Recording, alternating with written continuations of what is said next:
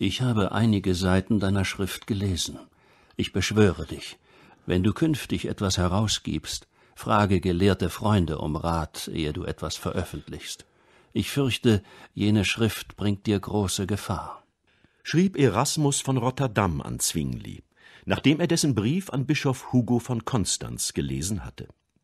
Für Erasmus ist es unverständlich, dass ein so vernünftig denkender Mann wie Zwingli plötzlich den behutsamen Weg des humanistischen Reformdenkens verlassen hatte und jetzt der kirchlichen Hierarchie das Recht absprach, in Sachen Evangeliumsverkündigung und kirchlicher Ordnung überhaupt ein Urteil zu sprechen.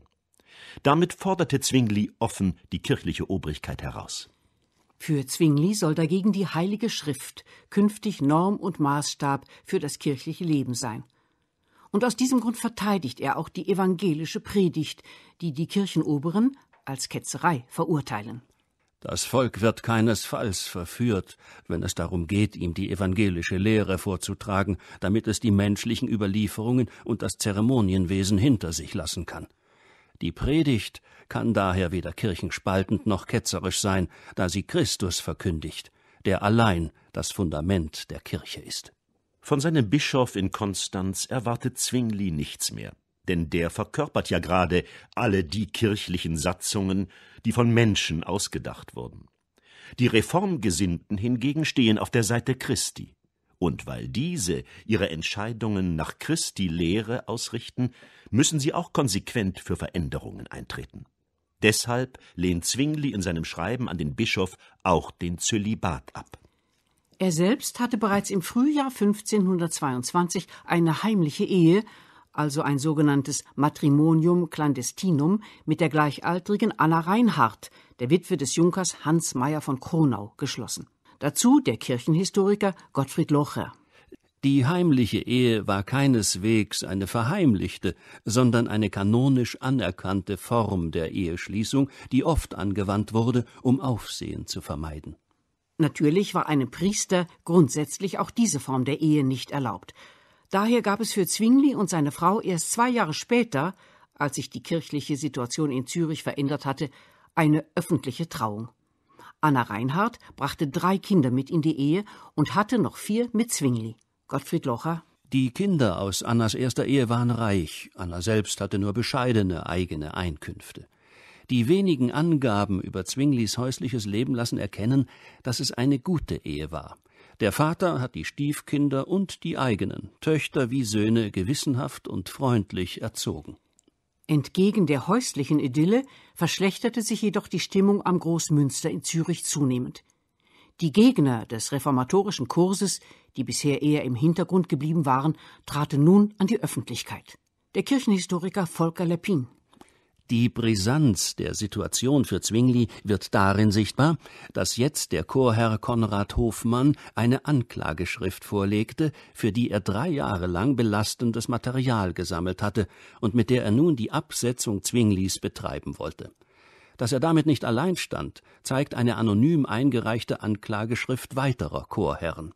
Dennoch konnte Zwingli diese Angriffe in Verhandlungen vor dem Kapitel abwehren. Da auch der Rat der Stadt in gewichtigen Teilen Zwingli wohlgesonnen war, kam es zu einer abwartenden städtischen Politik, die Zwingli weitere reformatorische Aktivitäten ermöglichte. Inzwischen hatte Zwingli auch treue Helfer unter den Theologen in Zürich, die ihn bei seinem Reformationskurs tatkräftig unterstützten. Als konsequentester Mitstreiter kam schließlich noch der Elsässer Leo Jud nach Zürich und wurde Pfarrer an St. Peter. Der bedeutendste Widersacher Zwinglis war der Konstanzer Generalvikar Johannes Fabri. Ihm gelang es, einen Teil der übrigen Eidgenossen gegen Zürich zu mobilisieren, das damit in die Gefahr geriet, in der Gemeinschaft der Eidgenossen isoliert zu werden. Um dies zu vermeiden, musste Zürich dringend etwas unternehmen, um seine Loyalität zu den anderen Schweizer Verbündeten ausdrücklich zu betonen. Der Rat der Stadt lud deshalb zu einer öffentlichen Disputation ein, bei der nun über Unzulässigkeit oder Rechtmäßigkeit reformatorischer Bestrebungen befunden werden sollte. Ulrich Gäbler Was allerdings den Erwartungen einer theologisch-akademischen Disputation von Anfang an widersprach, war, dass der Rat und nicht Gelehrte den Vorsitz führte und auch keine Disputationsthesen zur Verfügung standen. Zwingli versuchte diesem Mangel abzuhelfen, indem er wenigstens schnell eine Liste mit den wichtigsten Streitpunkten zusammenstellte.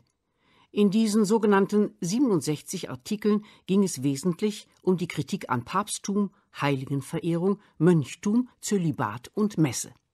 Generalvikar Fabri, der ebenfalls an der Disputation teilnahm, konnte diese Artikel natürlich so nicht stehen lassen und versuchte das Steuer herumzureißen, indem er die Notwendigkeit des kirchlichen Lehramtes hervorhob. Aus diesem Grund lehnte er die Rechtmäßigkeit der gesamten Veranstaltung ab. Ulrich Gebler auf Fabris Hinweis, ein Konzil müsse die Fragen entscheiden, entgegnete Zwingli, bei der Versammlung handle es sich schließlich um eine christliche Versammlung im Sinne der alten Kirche. Die Gemeinde solle urteilen. Sie habe eine besondere Lehrinstanz nicht nötig. Der Rat der Stadt stimmte daraufhin mehrheitlich für Zwingli, und er ließ die Anordnung, dass in Zukunft alle Prediger sich am Wort der Bibel als Richtschnur orientieren sollten. Damit hatte der Rat bereits den Grundstein zu einem Staatskirchentum in Zürich gelegt. Denn erstmals übernahm hier eine politische Obrigkeit die Richterfunktion in einer kirchlich-theologischen Frage und entschied aus eigener Vollmacht.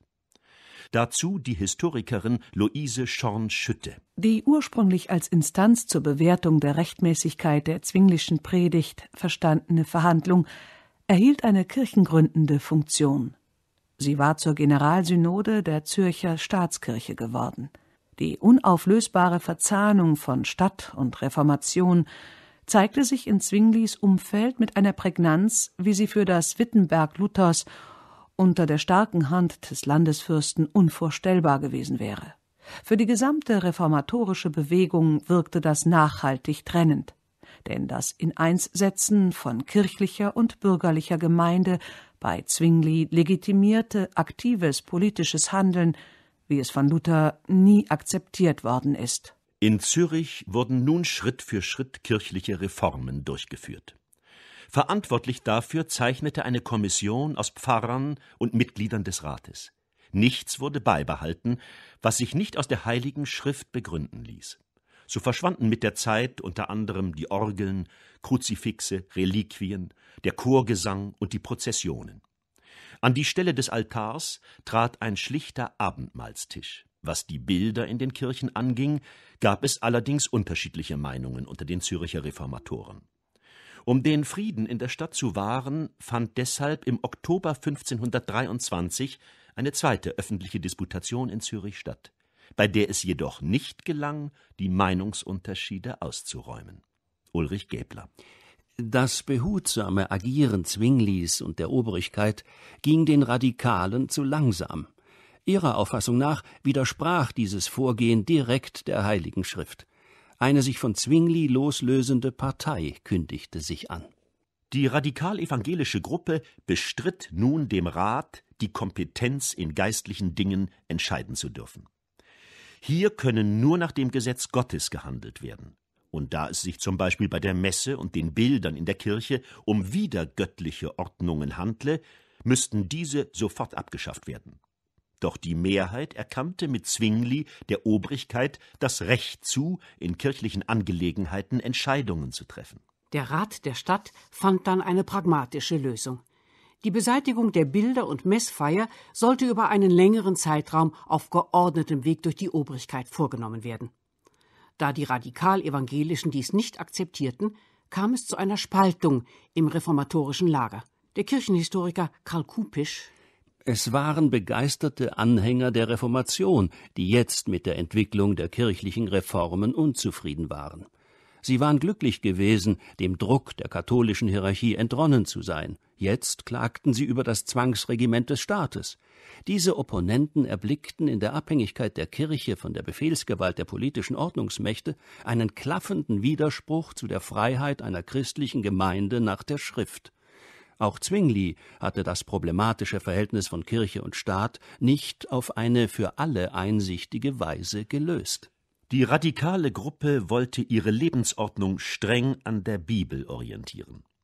Deshalb verwarfen ihre Anhänger jetzt auch die Kindertaufe, weil die Entscheidung für Christus nur von einem Erwachsenen getroffen werden könne, wie dies auch in den ersten christlichen Gemeinden üblich gewesen sei. Sie gingen deshalb dazu über, die Taufe bei Erwachsenen zu wiederholen, weshalb man sie nun auch Wiedertäufer nannte.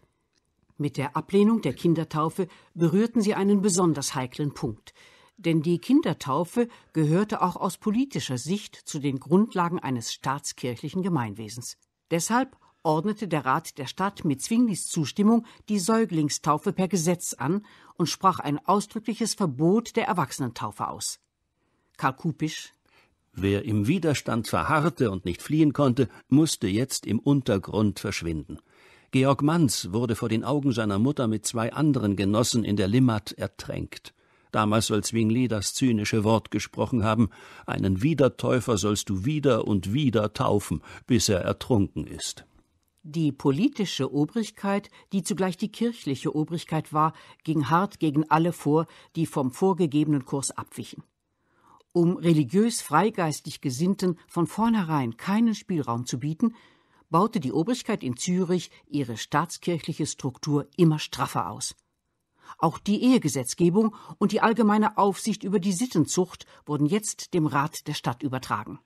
Von Zürich aus breitete sich die Reformation dann auch in anderen Gebieten der Schweiz aus, was von einigen Eidgenossen mit äußerstem Missfallen beobachtet wurde. Deshalb trafen die Altgläubigen nun erste Maßnahmen, um dem reformatorischen Spuk in der Eidgenossenschaft ein schnelles Ende zu bereiten